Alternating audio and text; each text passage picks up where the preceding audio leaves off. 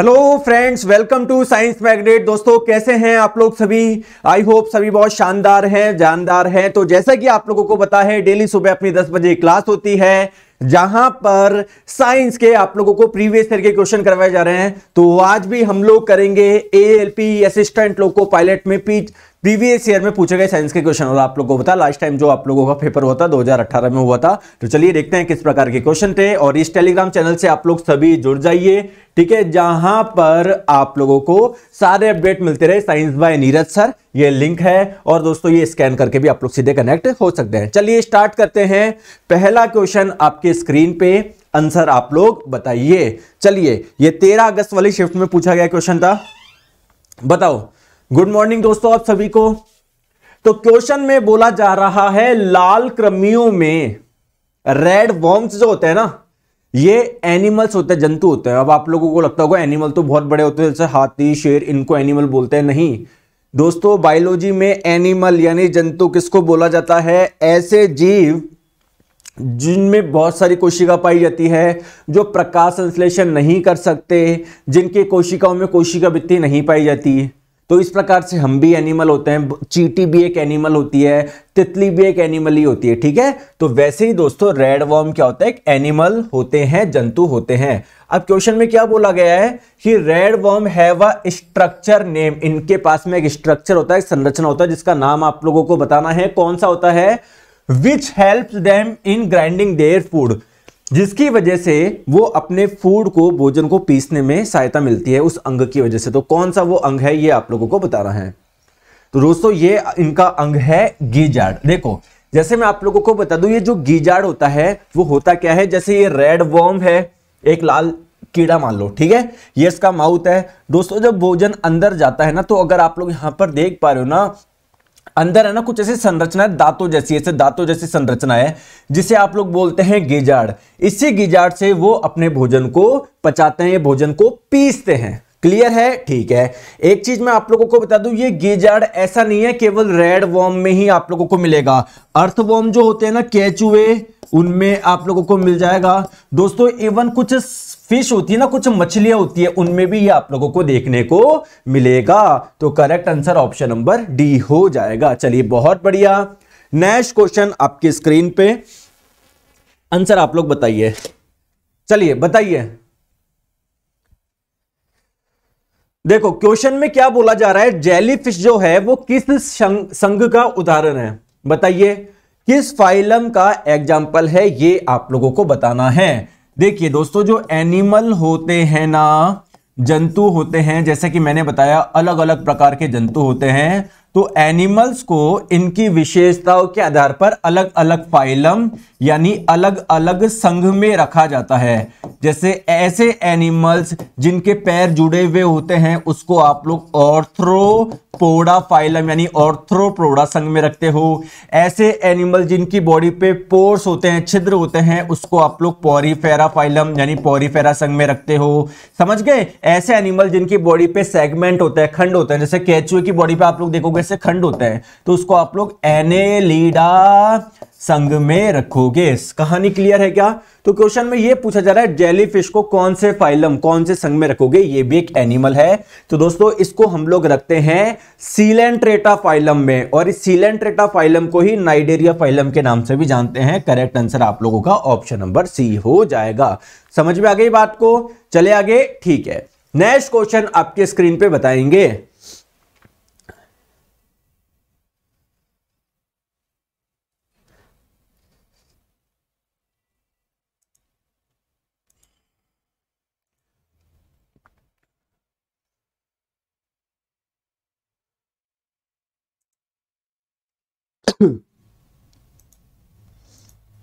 चलिए बोला जा रहा है निम्नलिखित में से किस प्रकार के जीवों में खुला परिसंचरण तंत्र होता है, ओपन सर्कुलेटरी सिस्टम होता है। अब आप लोगों के मन में क्वेश्चन आएगा, सर, ये ओपन सर्कुलेटरी सिस्टम क्या है? दोस्तों, ओपन सर्कुलेटरी सिस्टम से पहले आप लोगों को ये सर्कुलेटरी सिस्टम यानी परिसंचरण तंत्र समझना होगा। देखिए, हमारी बॉडी में अलग अलग सिस्टम है, जिनका कार्य अलग अलग है। जैसे आप लोगों का सर्कुलेटरी सिस्टम, परिसंचरण तंत्र का कार्य क्या है? आपके ब्लड में, सॉरी, आपके बॉडी में पूरा सर्कुलेशन करवाना। किस चीज़ का सर्कुलेशन करवाना? ब्लड का सर्कुलेशन करवाना, क्योंकि जब ब्लड पूरी बॉडी में सर्कुलेट होगा, तभी उस ब्लड में जो ऑक्सीजन होते हैं, वो आपकी बॉडी के हर अंग तक पहुंचेगी। अब बात आती है सर दो प्रकार के सर्कुलेटरी सिस्टम होते हैं, परिसंचरण तंत्र होते हैं। एक होता है आप लोगों का क्लोज एक होता है ओपन। सर, इन दोनों में मेन डिफरेंस क्या है? दोस्तों, ईमानदार की बात बताऊँ डिफरेंस क्या है? जैसे मैं आप लोगों को बताऊँ, हमारी बॉडी में क्या होता है? लंग्स से ब्लड जाता है हर्ट में। हर्ट से दोस्तों अलग अलग नलियों से अलग अलग अंग में जाता है। फिर वहाँ से दोस्तों, वापस आपके हर्ट में आता है, फिर वापस लंग्स में जाता है। तो आप लोग देख रहे हो, एक पूरा लूप बन रहा है। क्लोज सर्कुलेटरी सिस्टम हम लोग इसलिए बोल रहे हैं इसको, क्योंकि पूरा का पूरा सिस्टम है। या फिर आप लोग देखोगे यहाँ पर ब्लड नलियों में फैलता है। ओपन में क्या है दोस्तों, ये जाएगा, फिर ऐसे, फिर वैसे। मतलब एक पूरा एक लूप नहीं बन रहा। इसको हम लोग बोलते हैं open circulatory system close circulatory system में जो ब्लड फ्लो होता है ना, वो नलियों में फ्लो होता है। यहाँ पर नलियों में फ्लो नहीं होता। तो बात आती है कि किसमें आप लोगों को मिलेगा? तो आपकी जानकारी के लिए बता दूँ मोलस का जो संघ होता है, इसके कुछ एनिमल्स होते हैं जिनमें खुला परिसंचरण तंत्र पाया जाता है, कुछ में बंद परिसंचरण तंत्र पाया जाता है। तो मोलस का संघ के जंतुओं में आप लोगों को ओपन सर्कुलेटरी सिस्टम मिल जाएगा। Correct answer option number B हो जाएगा। ठीक है? चलिए, इसका आंसर आप लोग बताएँगे।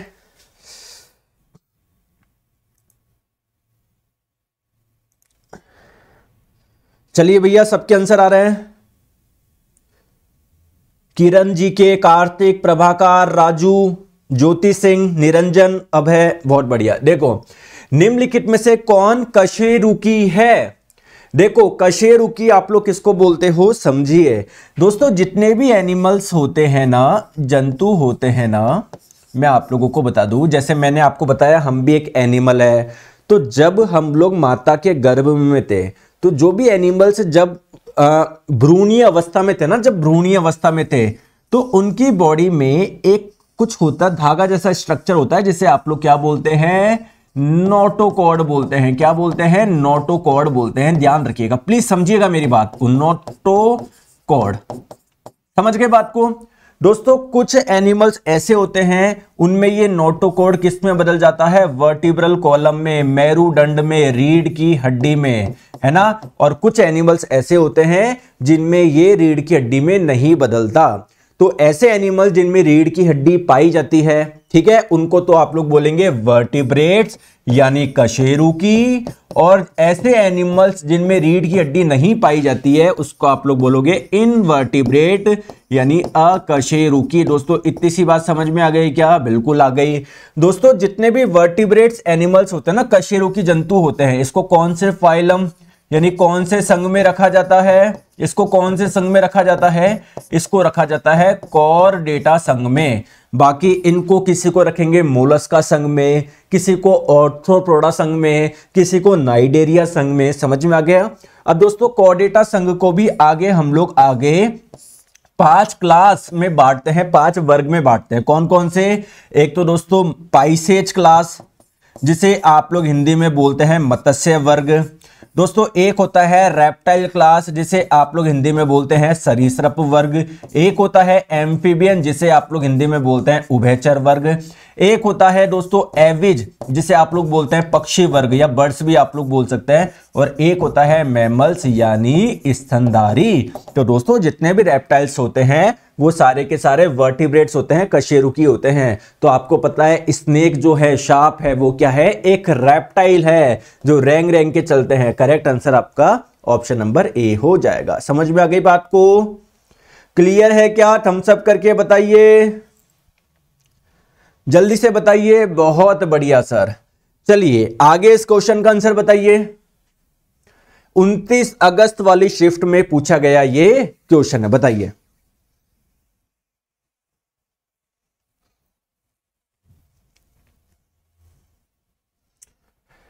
बोला जा रहा है, निम्नलिखित में से कौन मानव आतों में, है ना?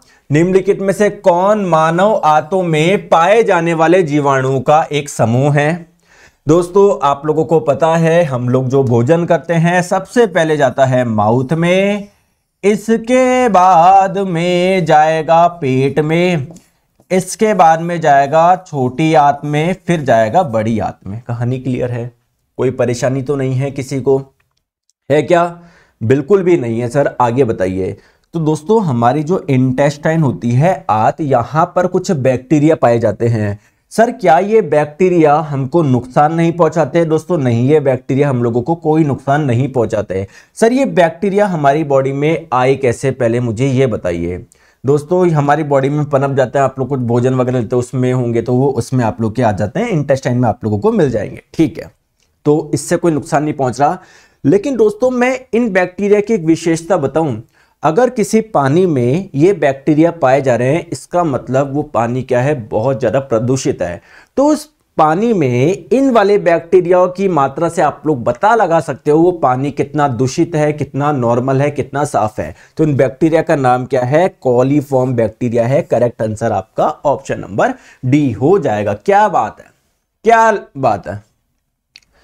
नेक्स्ट क्वेश्चन आपकी स्क्रीन पे आंसर आप लोग बताएँगे। क्वेश्चन आपकी स्क्रीन पे बताइए। सर, मैं कोर्स लेना चाहता हूँ, पर प्राइस उन्नीस सौ निन्यानवे दिखा रहा तो दोस्तों, जो प्राइस होगी वही तो दिखाएगा ना। और कंटेंट देख लो, आप लोगों को लगेगा कि नहीं सर, पाँच हज़ार का कोर्स होना चाहिए कम से कम ये। ठीक है? चलो बताओ। शल्य चिकित्सा, जो फादर ऑफ़ सर्जरी किसे माना जाता है? क्वेश्चन में आप लोगों से ये पूछा जा रहा है, फादर ऑफ़ सर्जरी। अब दोस्तों, फादर ऑफ़ सर्जरी किसे माना जाता है? आइए हम लोग इस बात को समझते हैं। देखो आप लोगों को पता है, अभी लेटेस्ट में हम लोग बात करोगे, आप लोगों के कोई भी दिक्कत हो। इवन जैसे मान लो किसी के नाक का नाक का शेप सही नहीं है तो आप लोग अपनी नाक का शेप भी सही करा सकते हो, वैद्य सर्जरी के माध्यम से। आप लोगों को अपना चेहरा चेंज करवाना है प्लास्टिक सर्जरी से करवा सकते हो। आपके कान का शेप आप लोगों को चेंज करवाना है कि, सर, कान का शेप सही नहीं है तो ये हो जा सकता है। बाकी मैं बोलूँगा दोस्तों, प्रकृति ने जो दिया है, उसी पर आप लोग खुश रहिए। वैसे तो आप लोग सभी अच्छे लोग हैं, आप लोग, हम लोग कभी कोई भी इस प्रकार का नहीं सोचते, जो सोचते हैं, भैया, जिनके पास अच्छा पैसा है और जिनको कुछ ना कुछ चाहिए तो वो ये सोचते हैं। लेकिन आपकी जानकारी के लिए बता दो, जैसे for example for for for ये मान लो, ये राइनोप्लास्टी है। ये राइनोप्लास्टी क्या दोस्तों? एक प्रकार की सर्जरी है, जिससे नाक का शेप क्या करा जाता है? चेंज करा जाता है। किसका? नाक का। अब दोस्तों, ये पहले ही, सबसे पहले जो सुसूत्र संहिता थे, इन्होंने पहले ही ये चीज़ कर चुके थे। उन्होंने इसका नाम दिया था नासा संदान तो ये पहले सर्जरी कर चुके रहते तो फादर ऑफ़ सर्जरी हम लोग किसे मानते हैं? सुश्रुत्र जी करेक्ट आंसर आपका ऑप्शन नंबर डी हो जाएँगे। ठीक है? चलिए नेक्स्ट क्वेश्चन आपकी स्क्रीन पे मार्बल कैंसर क्या है? बताओ। तो कैंसर आपको पता है, बीमारी, मार्बल कैंसर। मार्बल में कुछ बीमारी होगी क्या? मार्बल में क्या बीमारी होगी? दोस्तों एक्चुअली जो मार्बल होता है, वो उसमें क्या पाया जाता है? कौन सा यौगिक पाया जाता है? कैल्शियम कार्बोनेट पाया जाता है, ठीक है? अब क्या होता है, अगर आप लोग कैल्शियम कार्बोनेट की अभिक्रिया किसी अम्ल से करवाएँगे, कोई सा भी अम्ल हो तो आप लोगों को पता है, कैल्शियम कार्बोनेट का डीकम्पोजिशन हो जाएगा, अपघटन हो जाएगा, कुछ और बन जाएगा कार्बन डाइऑक्साइड बन जाएगा कैल्शियम क्लोराइड आप लोगों का बन जाएगा। समझ गए बात को? तो ये अम्ल आया कहाँ से? एक्चुअली में क्या होता है जब वर्षा वर्षा का जल जब नीचे आता है तो आप लोग को पता है बहुत सारी इंडस्ट्री होती है जिनसे अलग अलग गैस निकलती है। जैसे हम लोग बात करें किसी से सल्फ़र डाइऑक्साइड निकलती है, जो एटमोसफेयर में ऑक्सीजन प्रेजेंट होती है, उसके साथ में सल्फ़र ट्राईऑक्साइड बना लेती है। फिर ये सल्फ़र ट्राईऑक्साइड जब वर्षा के जल में मिलती है ना तो बन जाता है सल्फ्यूरिक एसिड तो दोस्तों एसिड बन गया। अब यानी जो पानी था, वो उसमें अम्ल आ गया तो पानी क्या हो गया? बहुत ज़्यादा अम्लीय हो गया। इस वर्षा को हम लोग बोलेंगे अम्लीय वर्षा। सेम दोस्तों, जैसे नाइट्रोजन डाइऑक्साइड है, जब यह वर्षा के जल में मिलती है तो वहाँ पर निर्माण करती है नाइट्रिक एसिड का। तो दोस्तों, वर्षा के जल में जब इतने खतरनाक एसिड होंगे, इसको हम लोग बोलेंगे अम्ल वर्षा और जब अम्ल वर्षा ये मार्बल पे गिरती है तो उसको क्या करती है? खराब करती है, इसे हम लोग बोलते हैं मार्बल कैंसर तो कोरोजन हो रहा है। कोरोजन का मतलब दोस्तों सड़ रहा है। गल रहा है ठीक है? चले आगे। आ जाइए। नेक्स्ट क्वेश्चन आपकी स्क्रीन पे। आंसर आप लोग बताएँगे।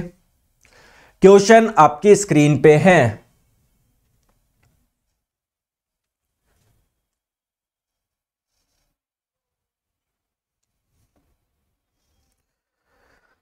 आप लोगों से बोला जा रहा है, डैश, पत्ती का तना जैसा भाग है, जो ब्लेड को तने से जोड़ता है। क्या है? देखिए, दोस्तों, ये क्या है? स्टेम है, तना है, समझ गए? तने से क्या जुड़ती है? पत्तियाँ जुड़ती है। ठीक है दोस्तों, आपने जोड़ दी पत्तियाँ। ठीक है? अब क्वेश्चन में आप लोगों से क्या पूछा जा रहा है? तने का कौन सा भाग पत्ती को तने से जोड़ता है? तो ये आप लोग का हो जाएगा तना, ये पत्ती। तो तना और पत्ती को जो बीच में ही जोड़ता है, ये वाला जो पार्ट आप लोगों का क्या कहलाता है? इसको हम लोग बोलते हैं पैटियोल क्या बोलते हैं? पैटियोल ठीक है? तो डैश पत्ती का तना जैसा भाग होता है, जो ब्लेड को तने से जोड़ता है। क्लियर है क्या? ये आपका क्या कहलाएगा? पैटियोल कहलाएगा। देख पा रहे हो आप लोग? और देखो एक्चुअली में जो पत्ती होती है ना, जैसे मान लो ये तो पत्ती का ये वाला जो भाग होता है ना, ये वाला जो भाग होता है, ये वाला भाग, इसको तो हम लोग बोलते हैं ब्लेड, ठीक है? और जो ये वाला भाग होता है, ये होता है पेटियोल जो कि इस पूरी पत्ती को, लीफ को किससे जोड़ता है? स्टेम यानी तने से जोड़ता है। चलिए, आगे चलते हैं। नेक्स्ट क्वेश्चन पे आंसर बताइए।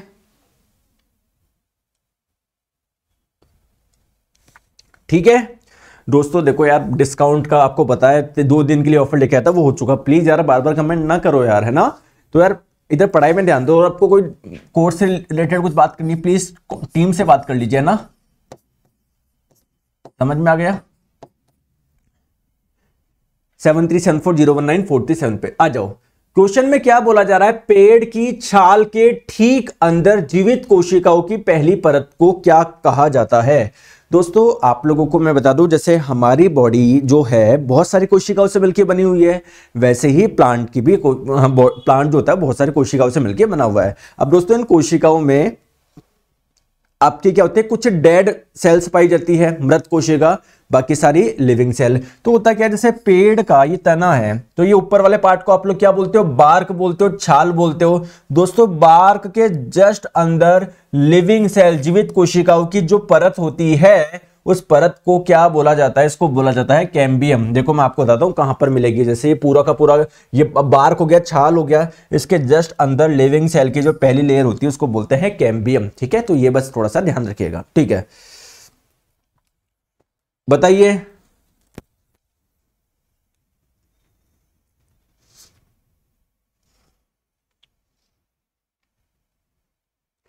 क्वेश्चन में क्या बोला जा रहा है? मनुष्यों में जो हिचकी आती है, आपको पता है कई बार हिचकी आ जाती है ना?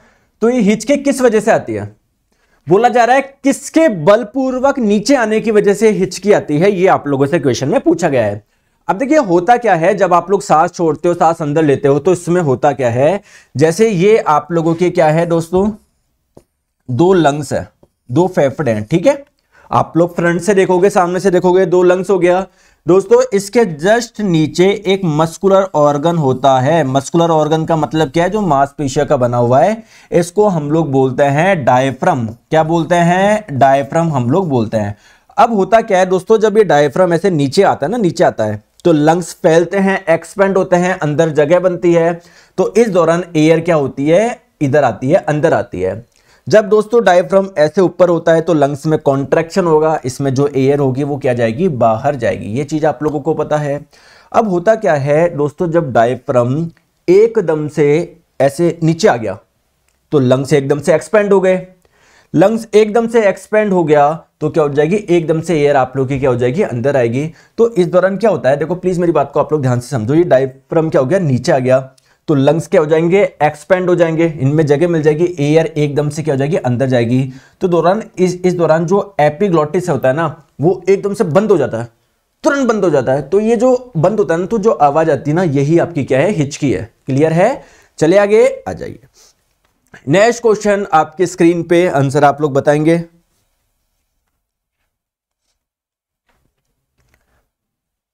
बताइए।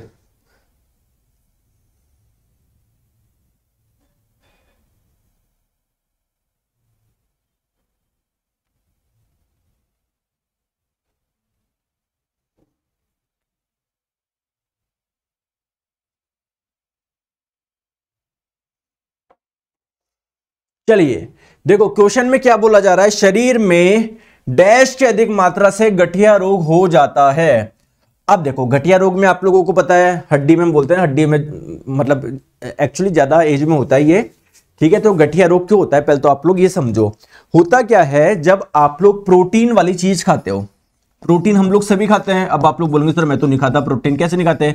भैया आप दाल खाते हो, उसमें आप लोग का प्रोटीन होता है। ठीक है? आप लोग दोस्तों जो अनाज खाते हैं, उसमें प्रोटीन होता है। मानते हैं उसमें बहुत कम होता है, लेकिन होता तो है ना? तो दोस्तों, जब प्रोटीन का डाइजेशन होता है, पाचन होता है, इससे आप लोगों को क्या मिलता है?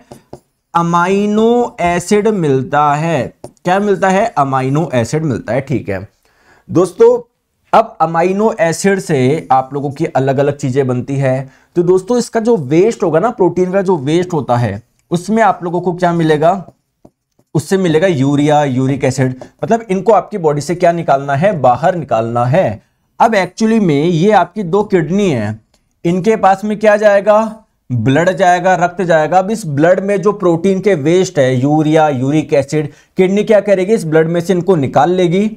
और जब मूत्र बाहर जाएगा, मूत्र के साथ में वो आपके वर्ड से बाहर निकल जाएँगे।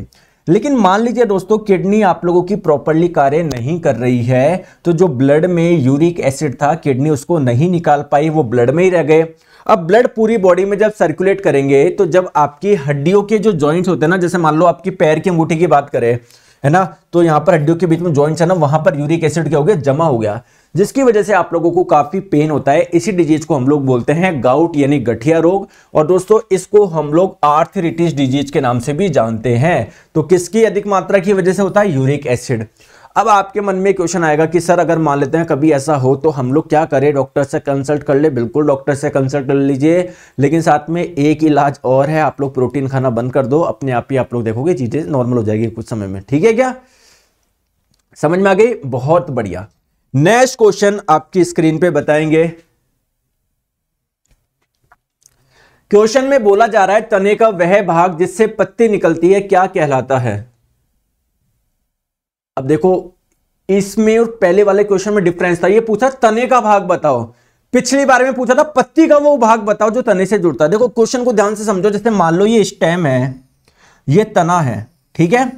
इस तने से कोई पत्ती निकली है। पिछले वाले क्वेश्चन में क्या पूछा?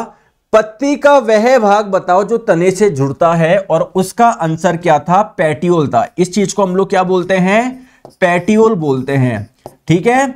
तो इसका मतलब क्या है? ये पूरी की पूरी क्या है? लीफ है। पूरी की पूरी पत्ती है। ये है पूरी की पूरी लीफ पत्ती। आप लोग केवल पत्ती, इसको ना समझिए। पत्ती का यह भाग तो क्या कहलाता है? कौन बताएगा, सर? ब्लेड कहलाता है।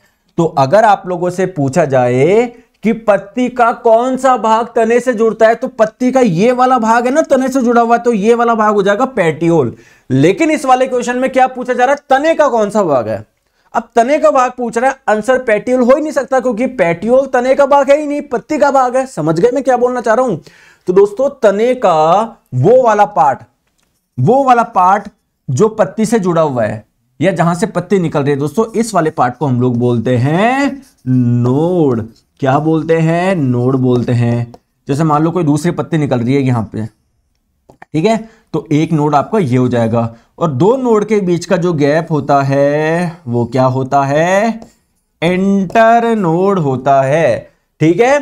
तो अभी इस क्वेश्चन का आंसर हो जाएगा ऑप्शन नंबर ए। दोस्तों, समझ में आ रहा है? जल्दी से बताओ यार। थम्सअप करके बताओ। चले आगे। और यार सेशन को लाइक करते रहा करो। ऐसे कंजूस मत बना करो। चलो बताइए।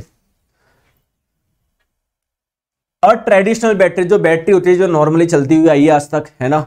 अब आपको होता है, रोज कुछ ना कुछ अलग अलग प्रकार की मशीनें बनती है अलग अलग प्रकार की बैटरी बनती है। अपन ट्रेडिशनल बैटरी की बात कर रहा है। तो उसमें आप लोगों को कौन सा एसिड मिलेगा?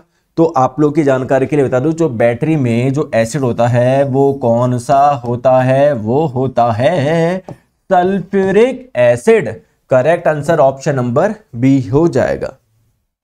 क्लियर चलिए बताइए क्वेश्चन आपकी स्क्रीन पे।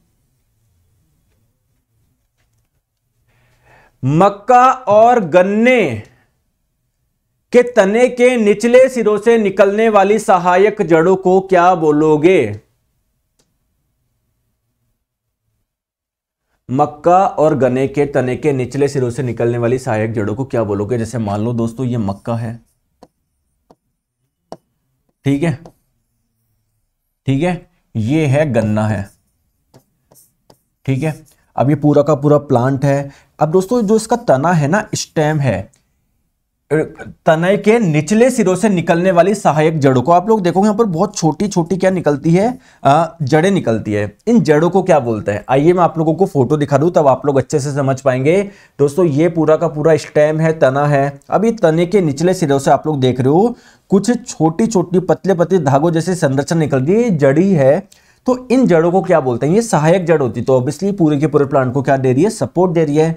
दोस्तों, इन रूट को बोला जाता है स्टिल्ट रूट क्या बोला जाता है? स्टिल्ट रूट बोला जाता है। स्टिल्ट जड़ बोला जाता है। अगर आप लोगों से पूछा जाए, ये कहाँ कहाँ पर आप लोगों को मिलेगी? दोस्तों, जो ये शुगर केन होता है, जो गन्ना होता है ना, गन्ना, गन्ने में आप लोगों को मिल जाएगी। मेज यानी मक्के में आप लोगों को ये वाली जड़ें मिल जाएगी। करेक्ट आंसर आप लोग का हो जाएगा stilt root option number A बताइए। आंसर बताइए।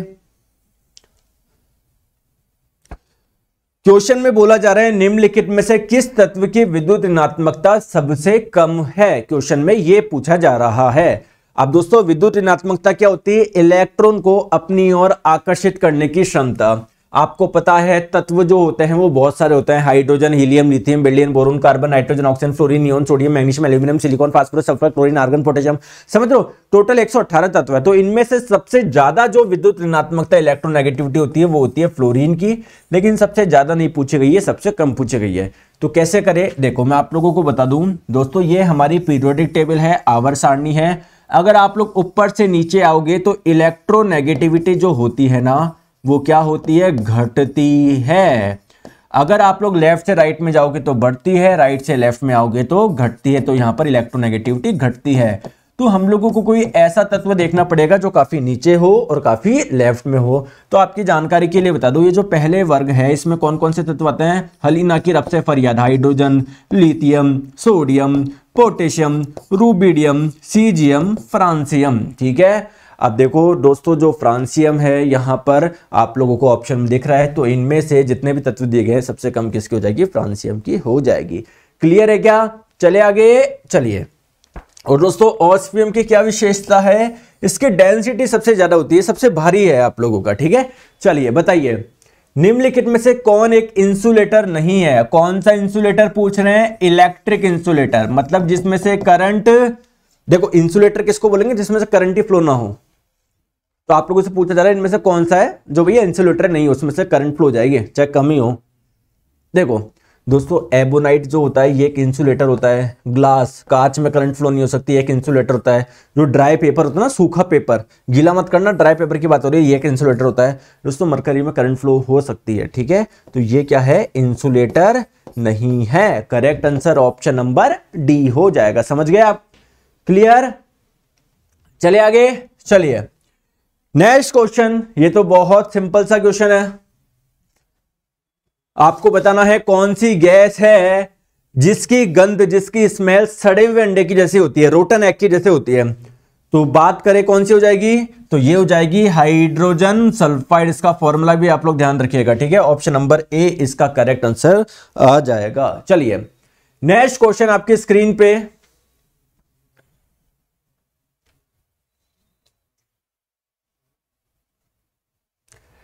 ओजोन गैस वायुमंडल की किस परत में उपस्थित होती है? ओजोन गैस आप लोगों को कहाँ पर मिलेगी? हम लोग बोलते हैं ना, हमारे पृथ्वी में ओजोन गैस है है ना? जिसमें छेद हो रहा, पूरे की पूरी जो परत है, उसमें छेद हो रहे हैं।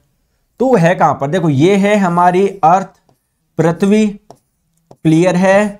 पृथ्वी के चारों ओर क्या है? वायु है। वायु जहाँ तक है, उसको बोलेंगे वायुमंडल। ठीक है। अब दोस्तों, इस वायु जो है, वो अलग अलग प्रकार की पाई जाती है। कहीं कहीं पर कौन सी गैस, कहीं पर कौन सी गैस? तो इन परतों को अलग अलग नाम दे दिया। सबसे पहले आपका आ जाएगा ट्रोपोस्फेयर शोभ मंडल फिर आपका आ जाएगा स्ट्रेटोस्फेयर, जिसे आप लोग बोलते हैं समताप मंडल तो दोस्तों, ये जो स्ट्रेटोस्फेयर है ना समताप मंडल यहीं पर आप लोगों को ओजोन गैस मिलेगी। करेक्ट आंसर आप लोगों का ऑप्शन नंबर ए हो जाएगा। चलिए बताइए।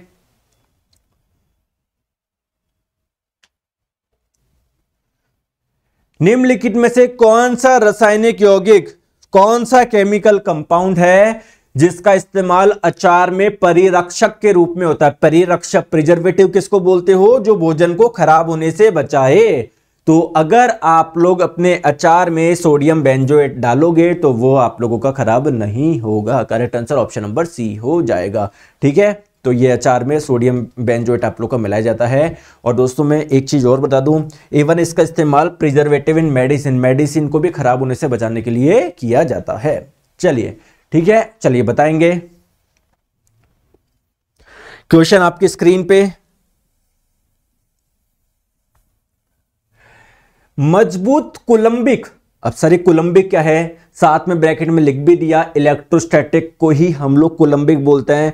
मतलब दो आवेशों के बीच का जो बल होता है ना, उसे ही हम लोग बोलते हैं इलेक्ट्रोस्टैटिक तो आपको बोला जा रहा है कि बहुत मज़बूत इलेक्ट्रोस्टैटिक बलों द्वारा बंधे हुए धनायनों, ऋणायनों की त्रिआयामी व्यवस्था से कौन से ठोस बनते हैं?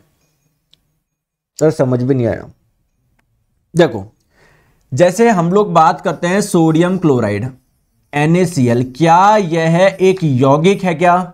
सर, कैसे पता पड़ेगा इसको यौगिक बोले या नहीं बोले? दोस्तों, अगर जो भी आपका दो या दो से अधिक तत्वों से मिलकर बनता है और जिनके बीच में कुछ बॉन्ड होता है, उसको हम लोग बोलेंगे यौगिक। तो देखो, यहाँ पर दो प्रकार के तत्व मिल रहे हैं, एक तो सोडियम और क्लोरीन, और इनके बीच में बॉन्ड भी है तो ये आपका एक यौगिक है। दोस्तों, क्या मैं इसको आयनिक यौगिक बोलूँ क्या? आयनिक यौगिक किसको बोलते हो? जो दो आयन्स के बीच में बनते हैं। तो एक्चुअली में ये जो दो बनाए ना, वो Na प्लस और Cl माइनस के बीच में ये। और दोस्तों जिसपे आवेश होता है, उसको आयन बोलते हैं। तो दो आयन के बीच में क्या है? ये एक बॉन्ड है। तो ये आपका एक आयनिक यौगिक हो जाएगा। और दोस्तों, जो आयनिक यौगिक होते हैं ना, उसमें आयन के बीच में बहुत स्ट्रांग आप लोगों के फोर्स होते हैं। ये पूरे के पूरे इनका एक आप वो देखोगे स्ट्रक्चर देखोगे। तो देखो, ये आप लोग का C L minus N A plus C L minus है ना? ये N A plus C L minus N A plus C L minus तो देखो, एक प्रॉपर इनके बीच में क्या होता है? बॉन्ड होता है। तो पूरा का पूरा थ्री स्ट्रक्चर होता है। तो किसकी बात हो रही है? आयनिक की बात हो रही है। चलिए।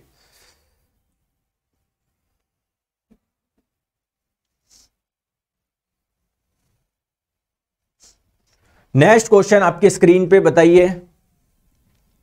और ये लास्ट क्वेश्चन तापमान में कमी के साथ में गैसों की द्रवों में विलेता क्या होती है?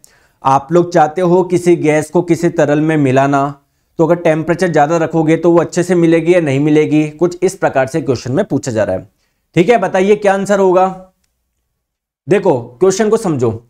आप लोगों को मैं बता दूँ, जैसे मान लो ये टेम्परेचर है, ये क्या है? सॉल्यूबिलिटी है। जैसे जैसे आप लोग देख रहे हो टेम्परेचर आप लोग बढ़ा रहे हो, आपको लग रहा है सॉलिबिलिटी बढ़ेगी। लेकिन दोस्तों गैस के साथ में उल्टा है। अगर आप लोग टेम्परेचर बढ़ाओगे किसी गैस का तो उसकी सॉल्युबिलिटी क्या होगी? कम होगी। क्वेश्चन में क्या पूछा जा रहा है? तापमान में कमी के साथ में और टेम्परेचर दोस्तों, आप लोग कम करोगे तो वो अच्छे से घुल पाएगी, उसकी सॉलिबिलिटी ज़्यादा होगी, बढ़ेगी। ऑप्शन नंबर सी इसका करेक्ट आंसर हो जाएगा। दोस्तों थैंक यू सो मच आज के लिए हम लोग इतना रखते हैं। कल बाकी के क्वेश्चन करेंगे सुबह दस बजे। और आपकी जानकारी के लिए बता दूँ, दोस्तों साइंस के कंप्लीट कोर्स के लिए, जिसमें चारों सब्जेक्ट आप लोगों को डिटेल थ्योरी बैच है आप लोगों का। साथ में आप लोगों को वो टेस्ट सीरीज़ भी है तो क्वेश्चन भी आप लोगों की प्रैक्टिस है। मतलब आप लोग का वन स्टॉप सॉल्यूशन है, कभी जीवन में साइंस आप लोगों को पढ़नी नहीं पड़ेगी। आप लोग दोस्तों कंटेंट का लेवल देखोगे, आपको खुद को लग जाएगा कि हाँ सर, कितनी मेहनत से हर चीज़ आप लोगों ने एक एक चीज़ बनाई है। देखो, दिन रात आप लोगों के लिए मेहनत करके बनाई गई चीज़ें हैं। मतलब आपको कभी जीवन में साइंस नहीं पढ़नी पड़ेगी, ऐसा मैं आप लोगों को बताता हूँ। विश्वास दिलाता हूँ, दिन रात मेहनत करके आप लोगों के लिए कंटेंट बनाया जा रहा है, जिससे बिल्कुल वर्ल्ड क्लास जनरल साइंस में कभी आपको ऐसा कंटेंट मिल ही नहीं सकता, ठीक है? आपको साथ में पीडीएफ मिलेगी टेस्ट सीरीज़ मिल रही है जिसका प्राइस है दो सौ निन्यानवे आप लोगों को चारों सब्जेक्ट बिल्कुल चैप्टर वाइज आप लोगों को पढ़ाए जा रहे हैं। ज्वाइन कैसे करना है? प्ले स्टोर पे जाइए साइंस मैग्नेट ऐप इंस्टॉल करिए, इसके कोर्स वाले सेक्शन में जाओगे तो ये आप लोगों का खुल जाएगा। इस पे जाके आप लोग बाय नाउ कर लीजिए, किसी भी मेथड से आप लोग पेमेंट कर सकते हो। कोई दिक्कत आ रही है, इस नंबर पर बात कर ले seven three seven four zero one nine four three seven ठीक है? थैंक यू सो मच अपना ध्यान रखिए। मिलते हैं दोस्तों कल। और दोस्तों, आज अपनी एक बजे क्लास है ऐप पे ऑर्गेनिक केमिस्ट्री हम लोग वहाँ पर पढ़ेंगे। Bye bye